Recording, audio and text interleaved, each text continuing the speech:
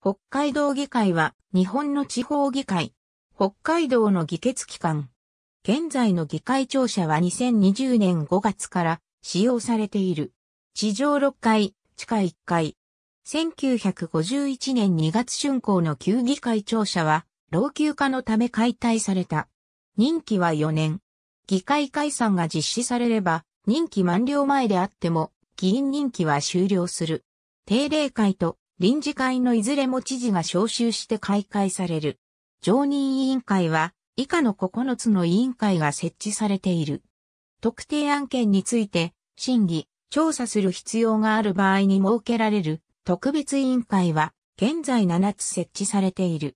2019年4月7日に行われた同議会議員選挙の結果を反映している。同議会では質疑内容を事前に道側と議会が擦り合わせる答弁調整の慣行があり、行政の監視機能の低下などの弊害が指摘されている。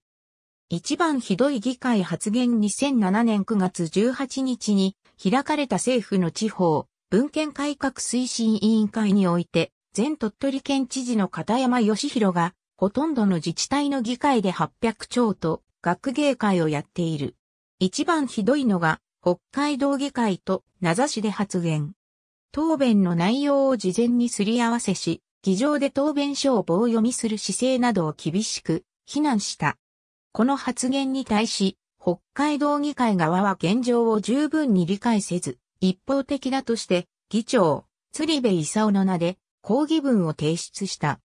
答弁調整の見直し歴代北海道知事の堀、達也知事や高橋晴美知事から答弁調整の見直しが提唱されていたが廃止には至らなかった。2021年、議長に選出された小畑康則議長は答弁調整の見直しを示唆している。